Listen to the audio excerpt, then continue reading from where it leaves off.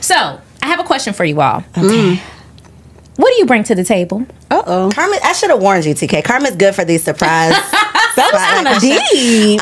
what do you what do bring, you bring to, the, table, as a wife? wow. Oh, as a wife. what do I bring to Yeah, just like what do you bring to the table? Because today's conversation, we're going to get into uh, marriage, the Yeah. first year of marriage, Yeah. what it's like being a wife. So, what do you bring to the table? We'll start with you, Kyle. Thank Ooh, you. with me. Yes. Oh, okay. I was like, my name. Um, I would say I bring calm. Ooh. You know, the men That's out here saying they want peace. I That's think I do bring peace to my home, Okay. to my husband and my children. Um, How do you do think- that? Like, give me Yes, some please. advice.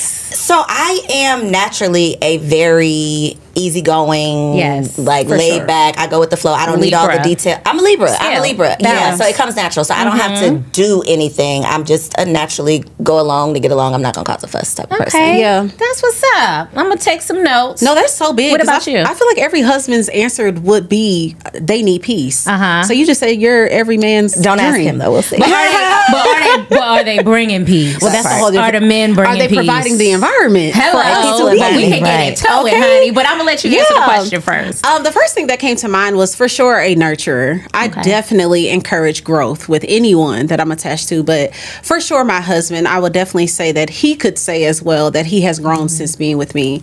And uh, a very practical way that I have been doing that is honestly my words. So my husband is a real big words of affirmation guy. Like I don't have to do anything but just call him daddy. You are great. You're about to do this. oh my gosh, did you do that? That is Right. amazing. So honestly just pouring into him, like putting putting all my energy into like the the the wisdom behind my words, my body language when I'm saying it, all of that. So yeah, I would definitely say a, a nurturer for sure. Okay. encouraging growth. So for me, I'll say I think I bring joy. I think I bring joy to the situation. I'm a fun person. I like to do stuff. I like to explore new things, and I feel like sometimes men aren't really into that. Like they're focused Yeah. on their work and mm-hmm. like providing and all of that good stuff. So I'm like, okay, babe, we're about to take a trip to the beach. Yeah. Relax, you know, take off, you know, that kind of thing. So that's the that's the vibe I bring. But the reason I asked that question I knew there was a reason. it's a trick. It's, a It's a trick trick. question. Always a Oh, trick. okay. All right, so there's a post that's floating around social media. I'm not going to read the whole thing, but essentially, it talks about a man buying his wife an engagement ring, um, and it was thirty-five thousand dollars. Okay, and so somebody looked at the wife and said, "For that investment, what does the man get in return?" And essentially, this person who made this post said, You need to stop asking women what they bring to the table. Hmm. Because if you don't know the value of a wife, you don't deserve one. And essentially, the second you begin to try to quantify a person's value, you're no different than a slave master assigning a price tag to a slave. So, this person is advising you ladies out there to stop answering the what do you bring to the table question. Oh, so we weren't supposed to answer. what do y'all think about that? what do y'all think about that?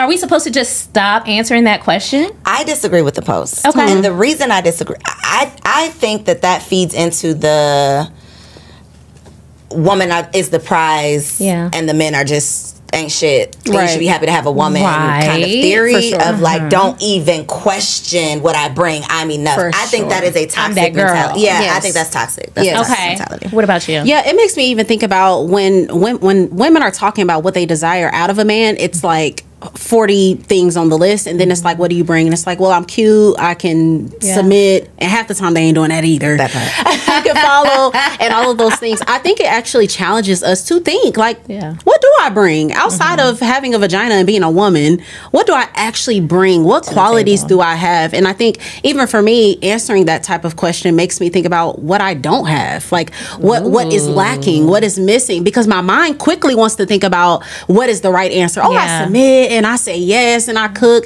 And it's like but do you And sometimes it's not mm. even true. What we what sometimes true. what we think about ourselves Yes. might not even really be the That's why I said reality. don't ask him For because we don't know what his answer might be. So good job, ladies. You kind of sort of passed, but not really. Not really. Um, okay. Anywho, It was a let's get into some tea time. So I saw something online and it went viral where a young lady wore a wedding dress, a white dress, to somebody's wedding. She's Jesus. a guest. a wore guest. a white dress to That's a wedding. correct. Okay. A guest, and everybody was getting it on film, and she was like on the dance floor having the time of her life. And the bridesmaids and everything were like in the corner, like me mugging her, like I can't believe you're still here. So if that happened to you all, what would you do? Would she have even made it to the dance I was floor gonna at I'm your wedding? the bridesmaids didn't turn into the bride gang. Yes. Snatch her off the dance. What? Because for me, Why did she make it she that wouldn't far? have stayed there. Not at all. At all. Yeah. And when you talk about wedding etiquette, that's just to me, that's just incredible. And I think we have a video of it, and I think it's going to play later um, on. No, it's gonna play right now. Okay. Okay. Okay, awesome.